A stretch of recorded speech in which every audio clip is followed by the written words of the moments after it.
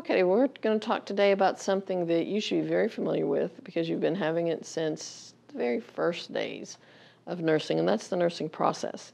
But you've learned so much and grown so much that now you can take it on a bigger scale. The nursing process has six steps, and I'll tell you why in a minute. First step, of course, is assessment. Your assessment a lot of times we'll start with your vital signs. That's kind of the first thing the doctor's um, assistant does when they put you in the room, right? Is take your vital signs. So we're going to look at the vital signs because they tell us a lot. That's why they're called vital. But that's not where your assessment ends by far. Next, you're going to go to the chart because the chart's going to tell you what their allergies are, what their orders are, what their history and physical is. There's a lot of information that you can gain from the chart, what their um, any diagnostic tests that have been done, any um, labs that have been done, all of that will be found in the chart. So that's another way that you can begin to assess your patient even before you walk into the room.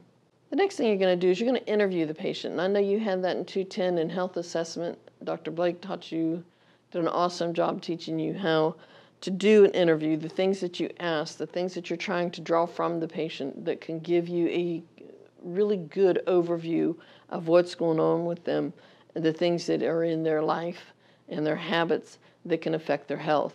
Then you finally get to your physical assessment, and that's also in 210 where you listen to the heart, you listen to the lungs, you palpate, you percuss, you auscultate, you feel, you look, you get a good idea of what's going on in as many ways as you can. From your physical assessment, you go to your functional assessment. And we saw that a little more in 306 when we went to Garden Plaza and worked with a physical therapist and learned how they decide if someone's a fall risk or whether they need a walker or not. What's going on with your patient? How can you help keep them safe? What do they need in order to be able to do the things they do? You can pull in occupational therapy here too. Do they need um, a reacher or grabber or something to help them with their activities of daily living? So it gives you a good overview of how that person is able to function. What can they do for themselves? What do they need help with? Something we really probably have not talked about too awfully much as part of your assessment is consultation. Many times a physician will bring in additional help. They'll bring in a specialist that takes care of specific things. They'll bring in a um, neurologist or gastroenterologist, or they'll bring in a physical therapist, an occupational therapist, a speech therapist. All of these people could become a team, and everybody from the team has insights and information to empower you to make good decisions about that patient based on what their needs are. You know, a lot of times they'll get a social worker involved if they're going to need things for when they go home or if they're going to need rehab after discharge. So all that is still part of your assessment. And another piece of your assessment, whether or not you really think about it, is your literature review. What's the new information that we're finding out? What's evidence-based practice showing? What have you have we learned recently through research that's going to impact how this patient's care is or how their disease is going to progress or the nursing interventions that we should do or not do? Sometimes we've been doing something for a long time. They used to always squirt a little bit of saline down a trach before they suctioned in order to loosen up the secretions. Well, what they learned through research that all that's doing is running down over the bacteria and taking it on down further into the lungs and causing ventilator associated pneumonia. So we don't do that anymore. But we learned that through research. And if someone hadn't said, hmm, I don't think this is a great idea, and done some research on it, we would still be doing that and causing our patients problems. So it's important to go back and look at the research and what's evidence-based practice and what should we do and what should we not do.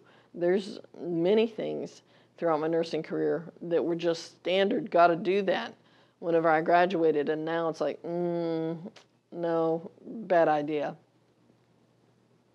So that's part of your assessment too. What's the best way to begin to think about planning for care for this patient? That's going to take us to our next step, and we're going to do a nursing diagnosis and I'm going to have a whole other discussion just on what is a nursing diagnosis. Here we're going to kind of hit the high spots and what it's for. What it does is it enables you to collect data, to bring everything together, to cluster it, to kind of look at it and say what's related and what's not. What do we need to do with this? um, begin to make inferences on it. Then you're going to go a little bit deeper and you're going to compare these clusters of clues. You're going to get definitions to them, defining characteristics. Really begin to understand what's going on, what you're seeing, and how you do you interpret that. What does it mean?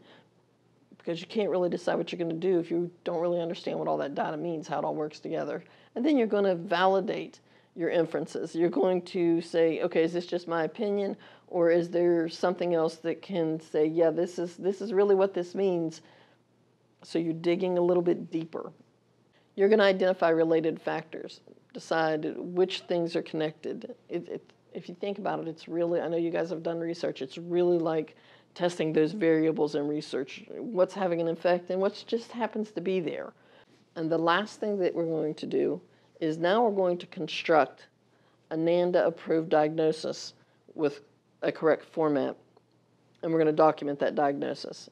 That is a whole other little PowerPoint in itself, and we're going to get to that later. But for right now, you just need to understand that writing a nursing diagnosis doesn't mean that you're just going to pick up your pen and scratch something down. All of these other steps have to come into play before you ever get to that nursing diagnosis. That's why you're able to write a great one because you've already thought about and investigated all these other things, and now you understand what's the real problem here, not just what's the surface problem, but what's the root problem, what's really going on. Because if you don't take care of the root, you've not taken care of the problem. We're going to take a break. You might even want to just pause this one, go get that next video, go down through and understand exactly what a diagnosis is and how you write it, and come back to this later. I'll see you shortly, and we'll talk some more about the rest of the nursing process because you know we're only about third of the way into the thing. Have a blessed day.